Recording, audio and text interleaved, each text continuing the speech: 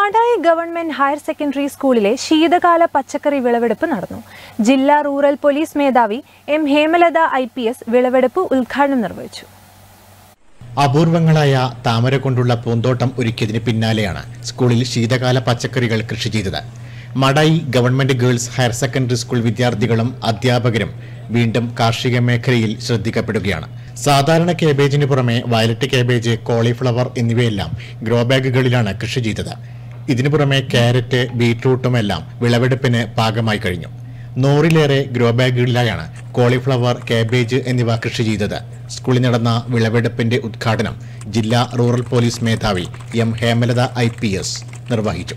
ചടങ്ങിൽ മാടായി കൃഷി officer K Suneesh school H M Baby Sunitha P K Viswanathan Pradeepan Madappally V P Sajith Pramod Anilkumar തുടങ്ങിയവർ സംബന്ധിച്ചു.